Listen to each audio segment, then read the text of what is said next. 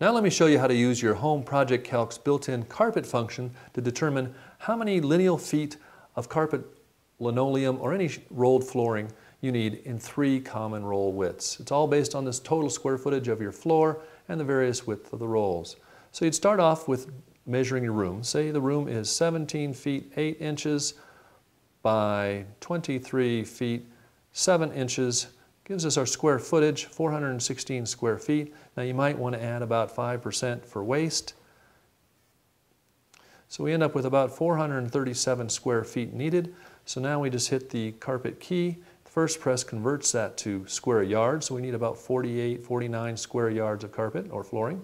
Pressing it again tells me for a 12 foot wide roll, I'm going to need 36, almost 37 lineal feet of that roll. Press it again. For a 13 foot wide roll, I need 34 lineal feet. And for a 15 foot wide roll, I need about 29 or 30 lineal feet. Now let's say that that's the size, the 15 foot wide roll fits my, my room the best without any seams or cuts, and that this goes for $18.65 of a lineal foot, so times 18.65. I hit the convert, and over the decimal place key it says cost, tells us we need about $544 worth of flooring material.